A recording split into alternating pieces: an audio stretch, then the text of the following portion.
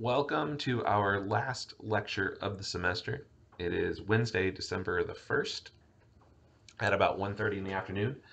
And for our final class, I want to talk about the Cold War. And it's going to be two parts. There's going to be something specifically on the Cold War and then a short PowerPoint on the Vietnam War specifically. And World War II is going to leave Europe in the same devastated shape it had been after World War I, only in worse condition. Uh, the advanced technology of World War II allowed armies to destroy more property and destroy more lives than ever before. And there were some real worries that history would repeat itself, leading to a second worldwide depression and another war. And the second depression is going to be averted by the Marshall Plan. Uh, the Marshall Plan is named for George Marshall, who was the U.S. Secretary of State. And it was this plan to pump about $12 billion worth of economic aid into the war torn countries of Western Europe. In today's money, that is somewhere between 170 and 200 billion dollars.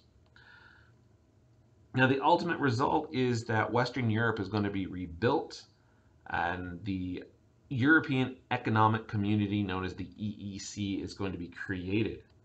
Uh, another word for that is the common market, and the EEC goal was the gradual economic cooperation of countries in Europe the elimination of trade barriers between countries, the strengthening of national economies, and the eventual adoption of a unified currency, which we know today as the euro.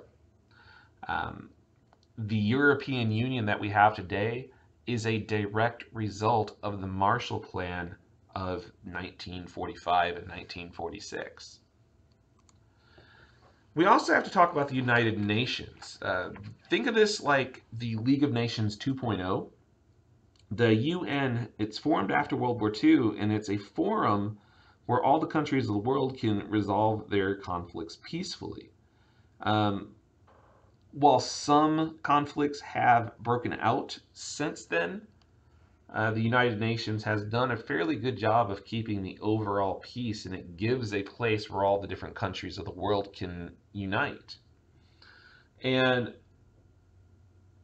the United States, like I said, it's done a very good job of keeping control of conventional warfare, but it did not and has not stopped the war of ideologies. You still have a difference in thought between those who are in communist countries and those that are in uh, Western democratic countries. The Cold War, which begins in the 1940s and lasts up until the uh, the mid 90s, uh, that's really going to be the determining factor for international relations for about 45 years or so, and it still has residual effects today. And just like any war, there are at least two sides. And in the Cold War, the adversaries were the, uh, the quote, free world and the communist world. The free world consisted of the, of the United States, Western Europe, especially England and France, and other democratic nations and then the communist world was the Soviet Union, North Korea, China, uh, Vietnam, and some other places. And these two sides break down into alliances. For the Western alliances, you have the North Atlantic Treaty Organization, you have the Southeast Asia Treaty Organization, and then you have ANZUS, which was Australia, New Zealand, and the United States. And then in the Western Hemisphere, closer to home, we had the Pan American Union, which later becomes the Organization of American States. In response to these alliances formed by the free world, the communist nations are going to form the Warsaw Pact. And members of the Warsaw Pact were the Union of the Soviet Socialist Republics, better known as the Soviet Union, Eastern European countries that were controlled by the Soviet Union, and a couple other allies such as Cuba. Now, the communist world also included China, but China and the Soviet Union did not trust each other, so China was not part of the Warsaw Pact. Just like any war, there are some battlefields, but since this isn't a conventional war, we don't have conventional battlefields. Um, a lot of the initial struggle is over control of Eastern Europe. The Potsdam, P O T S D A M, the Potsdam Conference that went from July 17th to August 7th, or August 2nd of 1945. Uh, that meeting, which is right at the end of World War II, did not go so well. Uh, Harry Truman meets with the Soviet Union Foreign Minister Molotov. Uh, it's decided that Germany will be broken up into different parts. The borders of Germany are decided. It's decided that Japan will be forced to surrender unconditionally. And both sides have disagreements over just about everything else. The meeting ends. Both the United States and the Soviet Union are angry. Both the United States and Soviet Union distrust each other. And one of the big parts of the war is going to be containment and then challenging each other for the the third world, if you will. Now, what was a third world country? Well, that is the first battlefield, and a third world country at this time just meant a country that was not aligned with the East or the West. Very often, these third world countries are going to be located in Southeast Asia. They're going to be located in Africa. It's going to be places such as the the um, Koreas, North and South Vietnam, Cambodia, Laos, and then the former African colonies that are beginning to get their independence. Uh, usually, these countries are going to be rich in resources, rich in manpower, but they are also going to be very poorly developed. Uh, when colonization ends in Africa, a power vacuum is developed, and a lot of these countries are just left in poor shape politically and poor shape economically. And the the struggle for these countries is going to be one of the primary places that the uh, the Cold War takes place. Beyond that, though, we also have nuclear weapons. Um, while nuclear weapons are not going to be used during the Cold War, they are always a constant thought. Uh, the United States is the only country to drop atomic bombs on somebody in an offensive way. Uh, the atomic bomb hit Hiroshima on August 6th, 1945, and the atomic bomb hit Nagasaki on August 9th, 1945, and ended World War II. It's estimated that about 100,000 people died at Hiroshima, about 75,000 people died at Nagasaki, and it becomes this idea that only superior weapons will keep somebody else from using a nuclear bomb. And the death tolls at Hiroshima, the death tolls at Nagasaki show how dangerous these bombs could be. So by the end of the 1960s, there are a total of six nations with nuclear capability. There's the United States, there's the Soviet Union, China, England, France, and India. Now you might be asking, why did India have nuclear weapons? It's because they were afraid of both sides. They were afraid of both East and West. India was one of these third world countries and they wanted to protect themselves. Adding to those original six, today Israel, North Korea, and Pakistan have nuclear weapons as well. Trying to stay ahead in the arms race, the United States begins to develop hydrogen bombs, and that's a bomb so powerful that it took an atomic bomb to explode it and make it detonate. Uh, from there, you go on to neutron bombs and cobalt bombs, and it's all about more bombs, bigger bombs, better bombs. And the 1960s becomes this arms race now, the United States and Soviet Union each felt the other side would be deterred in launching a first strike by the fact that both countries would suffer ultimate destruction by a nuclear war. And this becomes the concept of mutually assured destruction, aka MAD. Um, you create and have so many nuclear weapons that your enemy dare not use theirs against you there were more nuclear weapons than what were needed to destroy humanity. And at pretty much every point in the the way, the United States has a four to one superiority in destructive capability.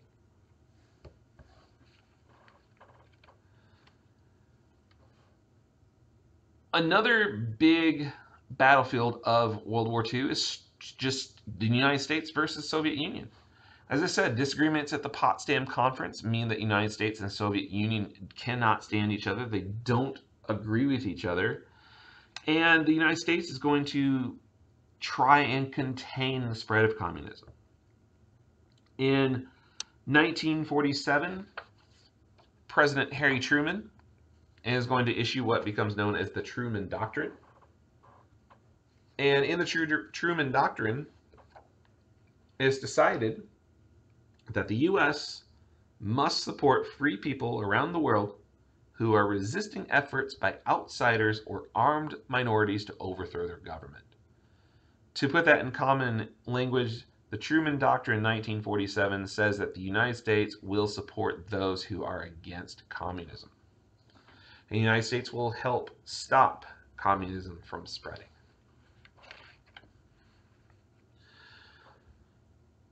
One of the first actual disputes during the Cold War happens in June of 1948 in the city of Berlin. After World War II, Germany is split into two parts East Germany, West Germany. The city of Berlin, which is fully enclosed within Eastern Germany, that city is split into East Berlin and West Berlin. Well, in June of 1948, Stalin orders a Soviet blockade around the western sectors of Berlin in an effort to force the United States, Britain, and France to abandon the city. And over the next 10 months, the United States is going to lead an effort to ship 2.5 million tons of food, fuel, and supplies into West Berlin, and it's all done by airplane. Uh, airplanes go in and out of the city day, day in, day out, 24 hours a day. And once it becomes clear 10 months later that the city of West Berlin was not going to be um, starved, Joseph Stalin finally lifts the blockade.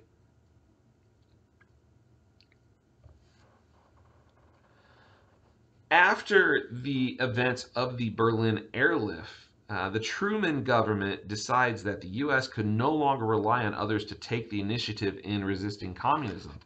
And the United States in April of 1950 is going to issue a report that is now known as NSC 68. And NSC 68 publicly states that the U.S. must take the lead in stopping communism wherever it occurred, regardless of the strategic or economic value of that area to the United States. And this leads to a major expansion of the American military power. Uh, this leads to a huge increase in defense spending. And this document, NSC 68, is going to dictate our response to communism all the way up until the 1980s. It's going to play a major role in how we look at countries trying to gain independence. It's going to play a major role in how we look at revolutions throughout the world. And it plays a major part into the role the United States will play in Korea, in Cuba, in Vietnam, you name it. In other words, NSC 68, wherever communism tries to spread, we will stop it, whether it's in a country, a bathtub, a rest area, wherever it might be. Cuba is going to be a big deal. Um, in the 1950s, Cuba had a dictator named Fulgencio Batista. Now, Batista is popular with the free world outside of Cuba, but he's very unpopular with most Cuban people. And a Cuban rebel group, originally peaceful, led by Fidel Castro, um, start to agitate and start to demand that Batista be removed. Now, these Cuban rebels were popular at first. Fidel Castro does a tour of the United States, appears on the Ed Sullivan Show, and even meets in 1958 with then Vice President Richard Nixon. And Fidel Castro is going to talk with Richard Nixon about nationalizing industry, and that sounds strangely socialist communist. And so the United States turns down Castro for support. Because the United States turns down Fidel Castro, he then turns to the Soviet Union, and the Soviet Union agrees to help him. So by the time we get to 1959, Castro has help from the Soviet Union. Castro overthrows Fulgencio Batista, and many Cuban businessmen flee the country as their wealth is confiscated, and as a result, Castro becomes very unpopular in the United States. Now, almost as soon as this happens, the United States President uh, Dwight Eisenhower he sets up a plan to help Cuban refugees regain power, and he comes up with this idea along with the CIA of invading Cuba. And this invasion plan becomes known as the Bay of Pigs. Uh, let me just say it ends completely in disaster. Uh, when John F. Kennedy becomes president in 1961, he's convinced by the CIA, Cuban exiles, and even the mafia that going ahead with this Bay of Pigs invasion is a good idea. So, April 1961, about 1,500 anti Castro exiles who are trained by the American government land at the Bay of Pigs in southern Cuba. The invasion is a complete fiasco because most Cubans support Castro. Um, the, the invasion is stopped, and John F. Kennedy is forced to accept blame.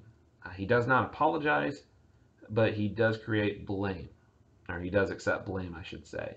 And this creates a lot of resentment towards the United States from Latin American leaders, both in Central and South America. Now, going on from there, in early October 1962, a U.S. spy plane and some satellites are going to go over Cuba and take pictures. And these photographs reveal that there's a Soviet missile base along with missiles being installed on the coast of Cuba. Um, Cuba is about 90 miles or so south of Miami, so it's very close. Uh, Kennedy responds strongly. He condemns on national TV what he calls a provocative threat to world peace. John F. Kennedy issues this public ultimatum demanding that the missiles be removed and places a blockade around Cuba. Um, JFK also says that the United States will remove these missiles by force if the Soviet Union does not agree to move them voluntarily. Well, the leader of the Soviet Union, he was a guy named Nikita Khrushchev. Uh, Khrushchev denounces the blockade, tries to fuel the missiles to get ready for launch. U.S. forces are put on high alert. A invasion is designed and prepared of the Cuban island and all the world can do is watch in horror as the two sides go to the blink of nuclear war. Um, at the last minute, uh, Kennedy and Khrushchev are finally able to reach an agreement. Uh, the Soviet Union agrees to remove missiles from Cuba if the United States agrees not to attack Cuba and to remove missiles from Turkey.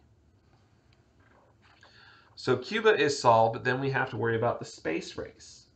Uh, the space race is one place where the Soviet Union gained an early advantage.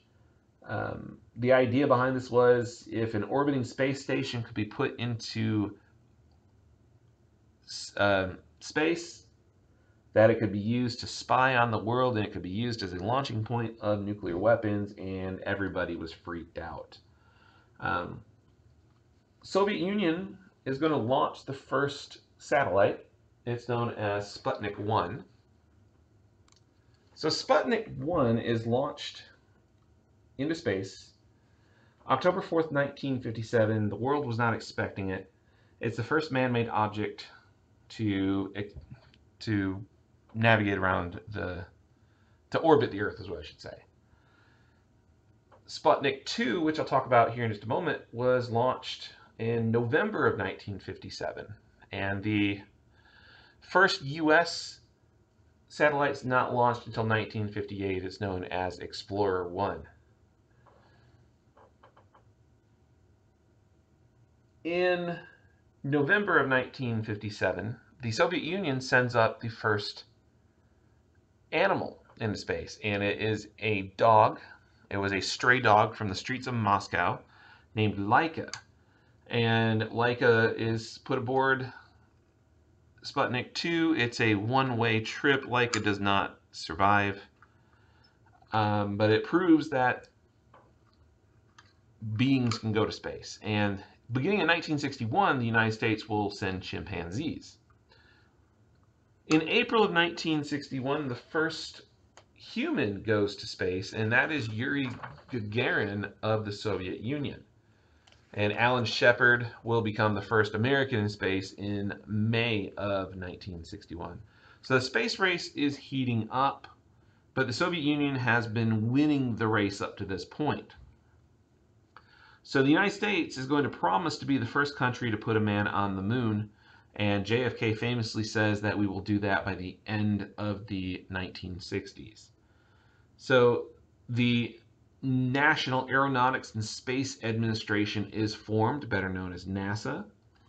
NASA begins the Mercury program, the Gemini program, and the Apollo program, and somewhere around 20% of the entire um, funding of the government goes to space exploration. Finally, July of 1969, Neil Armstrong and Buzz Aldrin will be the first humans and the first Americans on the moon. There is a third guy that was on the mission. I always mention him because nobody ever remembers to. His name was Michael Collins. Now, the space race does move forward from there. Uh, the Soviet Union never completes a moon landing, but they do create a space station, as does the United States. The U.S. space station was called Skylab, and then Skylab 2. The Russian space station is called Mir, and then eventually now we have the International Space Station.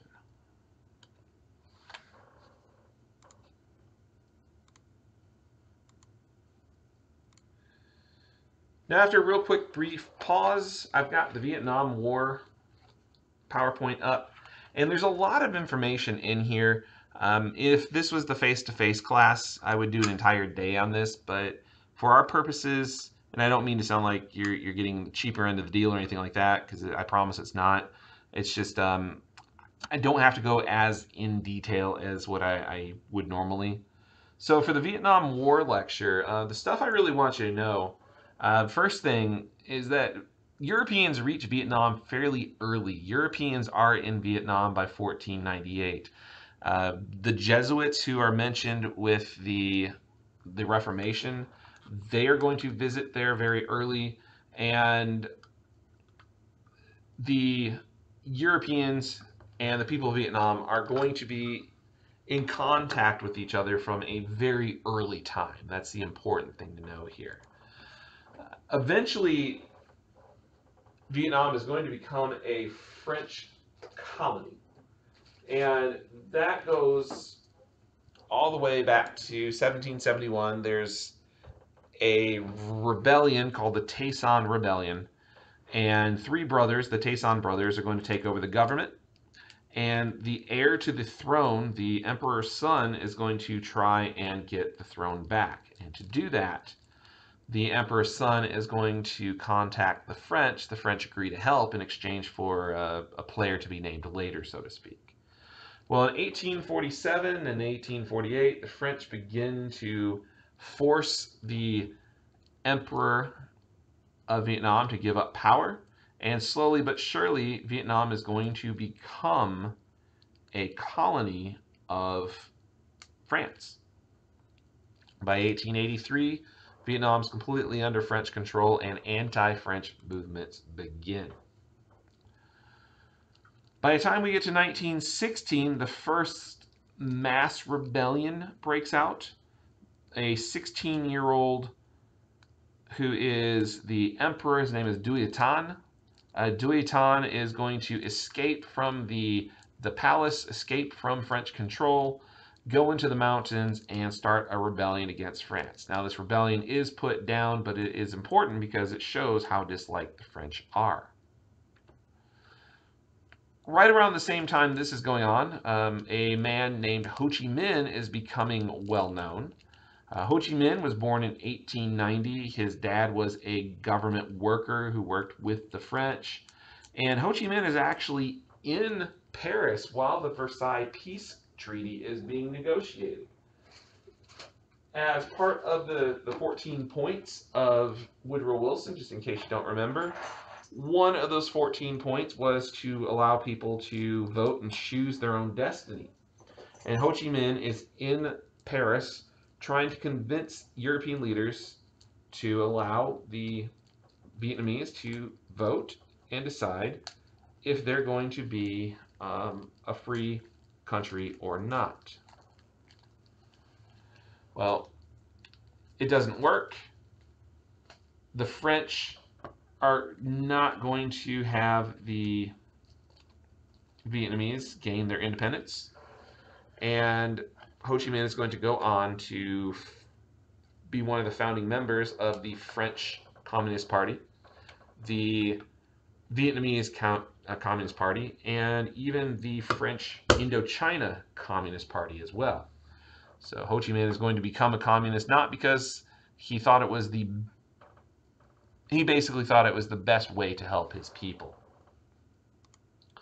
Well, if you fast forward to World War II, the Japanese gain control of Vietnam. Ho Chi Minh fights against the Japanese. The Americans support him. And before you know it, August 28, 1945, the Japanese know that they're losing the war. August 28, 1945, the Japanese are going to surrender to Ho Chi Minh, and Ho Chi Minh declares an independent Democratic Republic of Vietnam. Uh, the problem with this, though, is the French don't agree. And after World War II, using quite a bit of that Marshall Plan money, the French are going to return to Vietnam. They're going to set up a new colonial government and they're going to declare that Ho Chi Minh and the Vietnamese don't actually have their independence. And a war is going to break out between the French colonial forces and Ho Chi Minh's communist forces. This war is going to go all the way from February of 1945 to August of 1954, and it's known as the First Indochina War.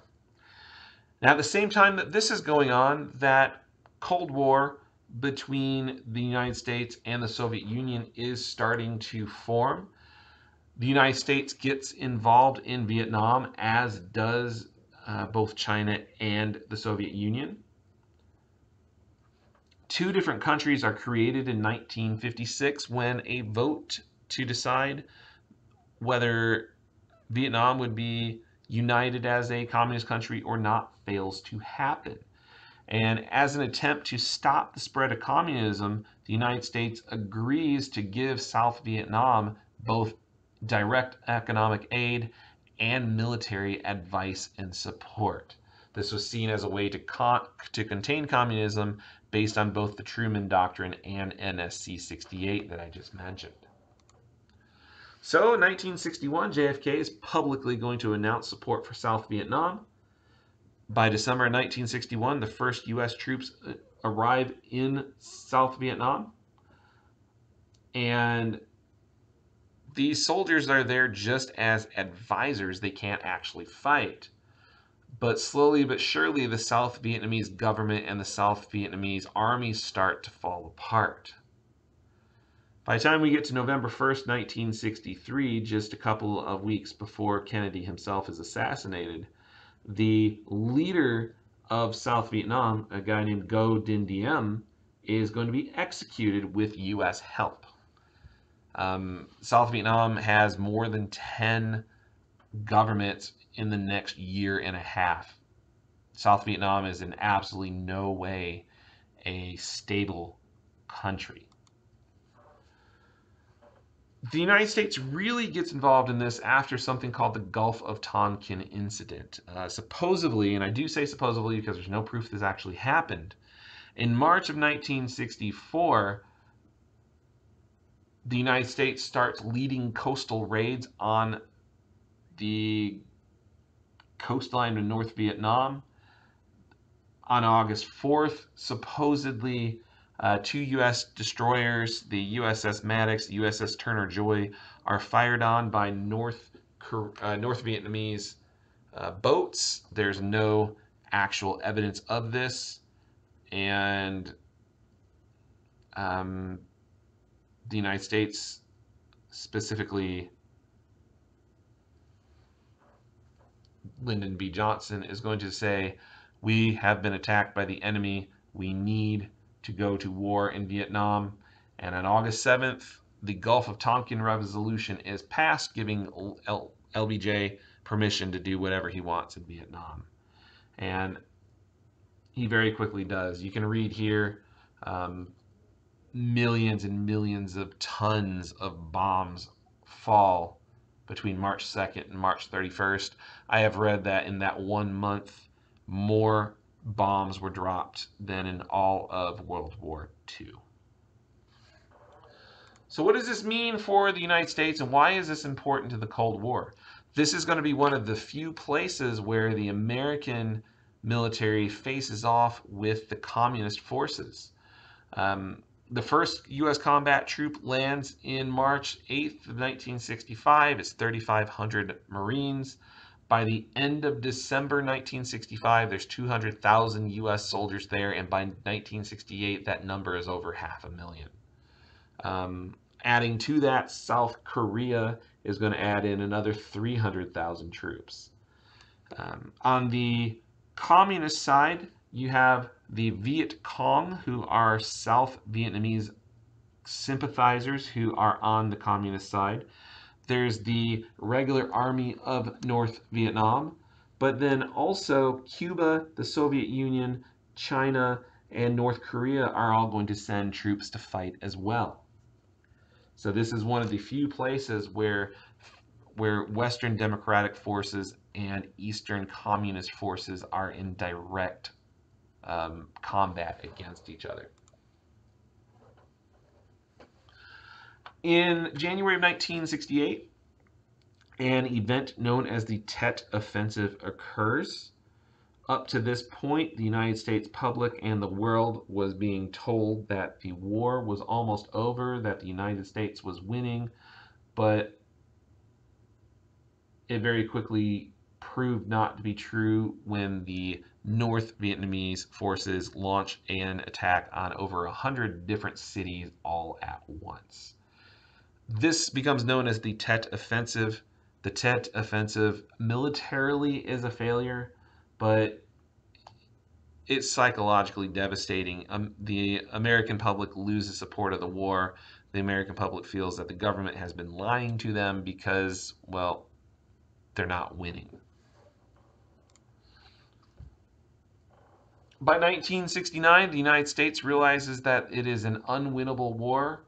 And in 1969 and 1970, uh, the president, Richard Nixon, announces that America is going to start withdrawing, but in April 1970, the United States invades another country, Cambodia. The U.S. public once again feels lied to, and uh, war protests break out everywhere. An anti war movement forms here in America. Hundreds of thousands of people demonstrate and even Vietnam veterans turn against the war. In the end, in 1972, President Nixon holds secret negotiations with the leaders of North Vietnam. By January of 1973, a ceasefire agreement is reached, and by March of 1973, um, all U.S. forces are withdrawn from the country. Go into 1974, North Vietnam, South Vietnam are fighting each other again. And by the beginning of 1975, the South Vietnamese government ceases to function and the country falls to Vietnamese communist forces uh, by the end of April. All right, so real quick final exam talk. The final exam is going to open on Tuesday the 7th. And it will go until the 13th. So you will have a full seven days to do it. So Tuesday the 7th at 12 a.m. it will open. Monday the 13th it will close at 11:59 p.m. I can't give you any more time than that. I have to have my grades in the next day, but I'm giving you as much possible time as I can. Uh, for this week, due by midnight on 12/6 or 11:59 p.m. 12/6, make sure you get your last quizzes done, your last discussion, and your, your SLO essay, and that final reflection paper. Uh, if you have any questions whatsoever about the SLO, please email me. I'm going to be in the office all next week.